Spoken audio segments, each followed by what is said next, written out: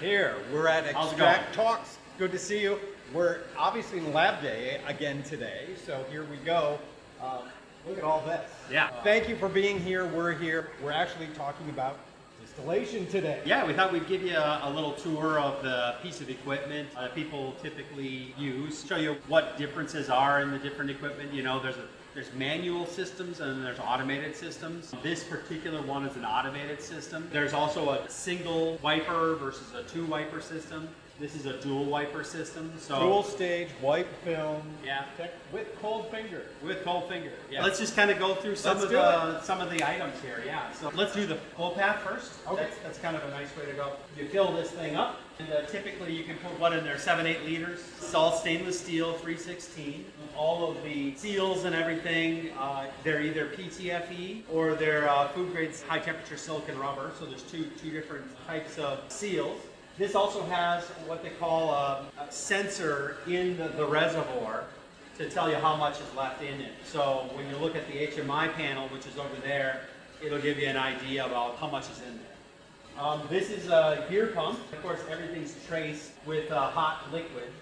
And the gear pump moves the oil to be distilled. Yeah. From here, goes up here, and then into this wipe, first wipe film, okay?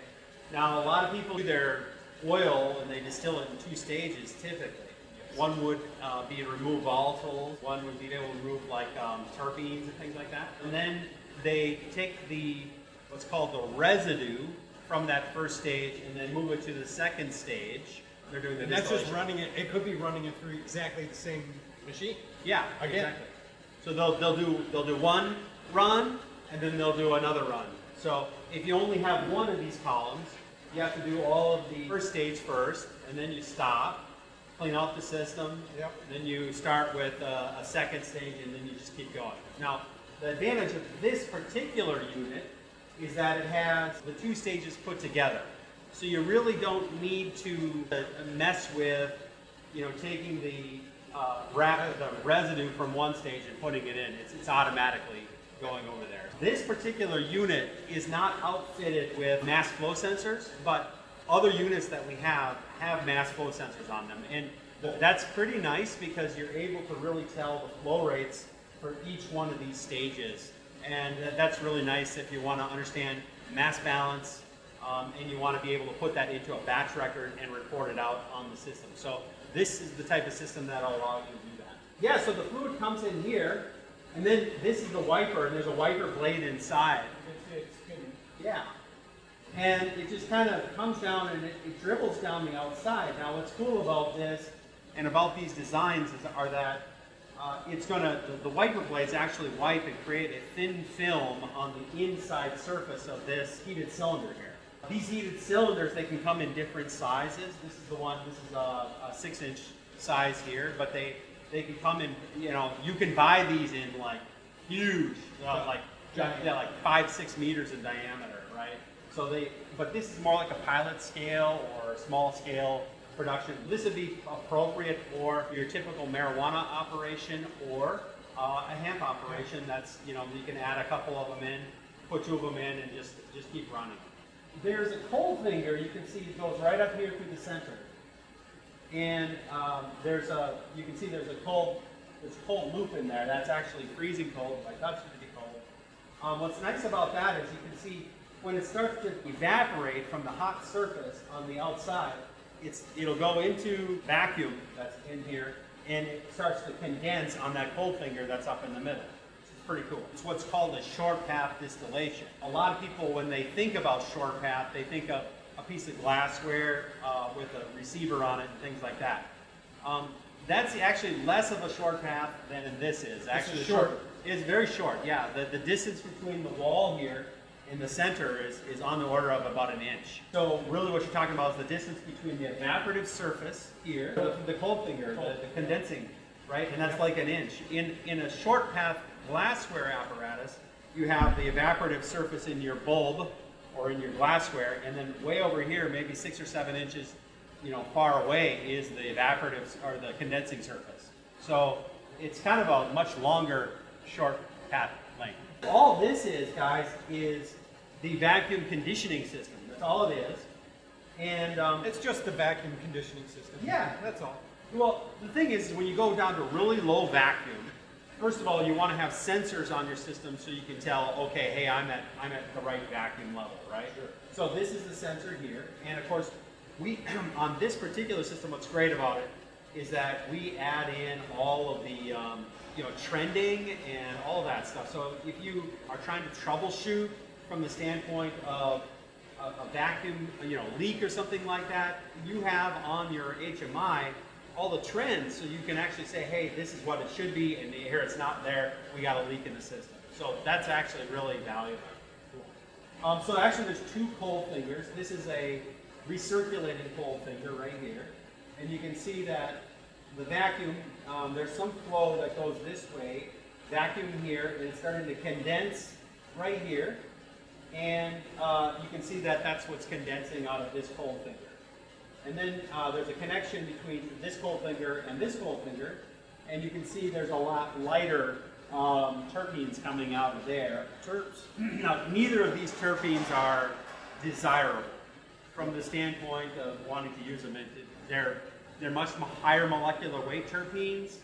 Um, they are liquid, but they don't smell good, nor do they have a good flavor. They have no good aroma. So you're not going to be able to use them in formulations. Okay.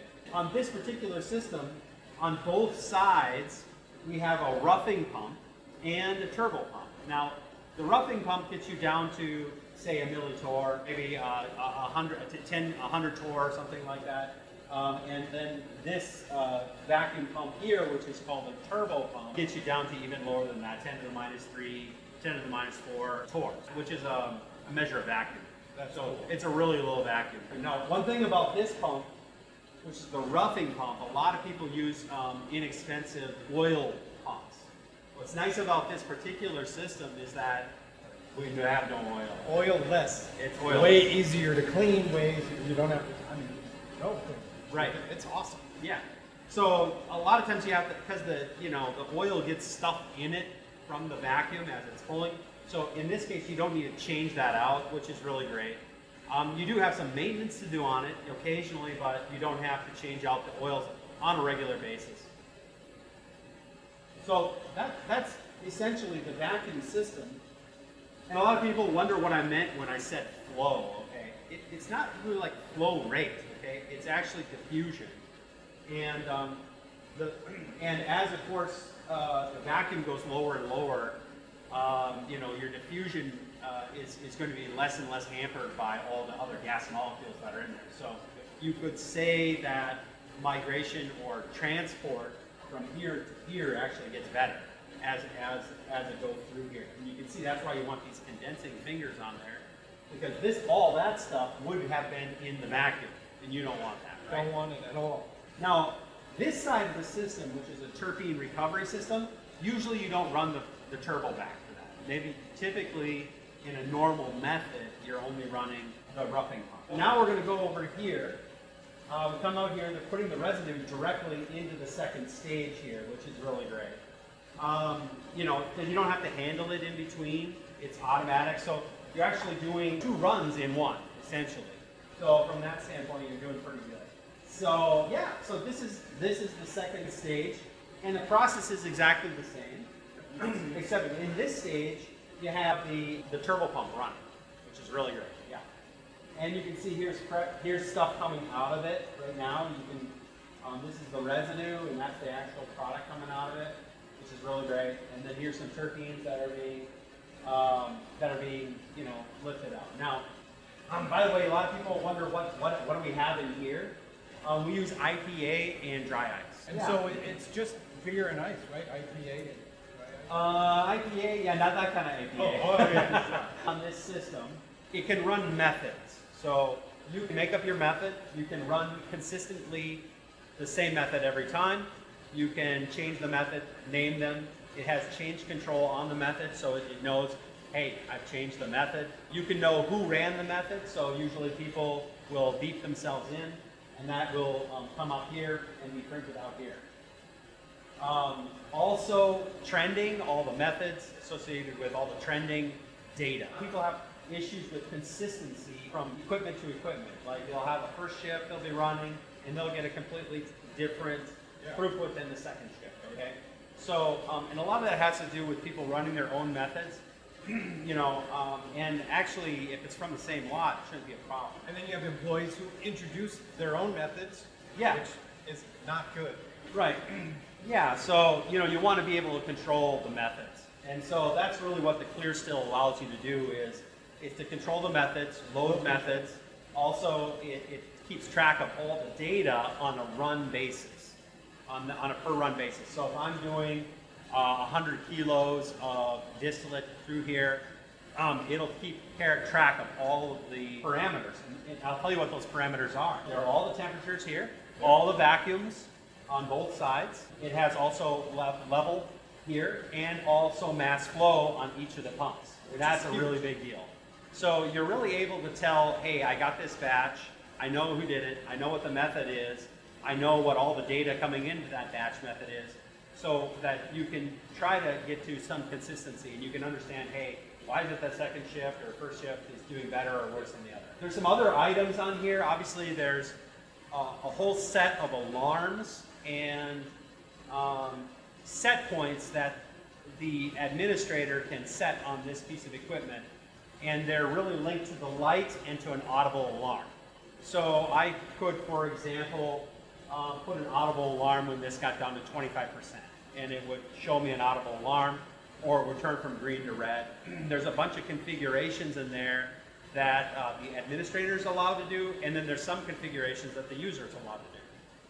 So, you know, just to keep it so that, hey, look, I, I'm running out of stuff. A lot of times you can set this stuff thing up, let it run, um, and you can go do something else. And then when you hear the beep or the buzzer or see the light, you're able to really say, hey, I gotta, I gotta pay, pay attention now. So one of the questions that I get is, can you can, can you add more product while it's running, or do you have to wait for the cycle to complete before adding You more? definitely can add more product while it's running. So if you Continuous. continuous, so if you have a big batch, you can do, you can do that continuously. Um, yeah, if you wanted to, if you want to do a four pass, you could even do a four pass by just putting the stuff back in. Just yeah. loop it back. Right. And even with this, what we found is when people are running Canapass 1, Canapass 2, Canapass 3 on a traditional uh, distillation machine, uh, we're finding that just one pass through this because it's dual stage and it's not hitting atmosphere, we're finding that you're getting up to 20 to 30% higher yield with one pass through the dual stage system Yeah. lots of time efficiency and a higher yield. So you're saving cost and you're improving your yield. Right. Now, a lot of people also ask, okay, what's the throughput on a system like this? And you know that that is a it's a complicated question. Anybody who's run a short path knows. Okay, you have parameters, right? You have where you're going to cut. In other words, what's the ratio between this side and that side? You set that with your method, okay? And then what's the purity I want out the end? So you set the purity, and the less the purity, the greater the throughput, essentially. And that's all going to shift depending on what you put in here. Yeah. So that's and that that's going to shift what. Yeah. So if you have a large batch, you can kind of um, you you run it under the same method. That'll at least say, hey, I know I know from my batch record that everything's the same, and nothing's been changed there. At least then I'll know the differences in output. Is the variation on the output coming from the input materials, or is it coming from my operators, or is it coming from the methods, Yeah. or is it coming from the temperature or the vacuum, all that stuff? So there's an endless number of parameters you want to try to control, and this system really allows you to, to, to do that. Now, that's what we call automation, okay? Automating, first of all, the transfer from first stage to second stage, automating the mass flow rates, automating all that stuff so that you can really, really control your system. That's fundamental uh, testing. GMP operation. Absolutely. Automating the testing, making sure that everything is regulated well with temperature, with vacuum, with pressure. with- Yeah, yeah. Huge. This is awesome. Um, it's kind of fun to see all the stuff inside. Did you get it? Did you show them what's in the buckets? Yeah. So that's residue, and this is the final product. You can see that that final product already starting, it's so concentrated, it's starting to crystallize all, all already. To crystallize, So, yeah. unless it's Unless it's warm. Right. Yep. So the other thing that's on this system that we didn't really talk about, but I'll mention to you, is that on our, all of our standard systems, we have laser-based motor control. and a lot of people don't have that, and nobody has that that I know of. We do. Um, and the, the reason is because you want to be able to um, automate when the pumps are turning on and off and the RPMs of those. So um, we have a laser-based system that we implement on this particular piece of equipment, along with uh, you know an input sensor for uh, ultrasonic sensor for the input on the, the level sensor. Okay, so we have sensors in there. It's important for you to use those sensors along with the mass flow sensors to, to really, you know, control your system. And it gives new meaning to herding kittens because with the lasers flying, the kittens just go crazy. Woo! all right, all right, guys. So this Thank has uh, been a good time, and uh, Well I hope you guys enjoyed it. And uh, if you got any questions on, you know, you need one of these babies in your in your laboratory, Yeah. you know, give us Call a call. Call us. Set up a CBD jam session, whatever. And uh, we, we, if you have questions about comparison, just let us know. This is a kick-ass piece of machinery, and we're ready to do it. Also, we've got extra uh, guides on distillation, and we also have a flow. Our chief animator and uh, videographer, James, put together a really cool flow on how this works internally from an animation standpoint. Very, very cool. Yeah, so go to YouTube, check out the video. Please subscribe, uh, push the subscribe button, and uh, I guess we'll see you guys next week. I Thank appreciate you. you, for See you joining then. us. Yeah, Well take done. care. Are you stuck in your hemp or cannabis business? Are you not reaching your processing goals? Here at extraktLAB, we offer a free 20 minute CBD jam session. A CBD jam session is a conversation with an industry expert, not a sales call. A conversation where you can talk to us about whatever issues you are having right now and where you are stuck.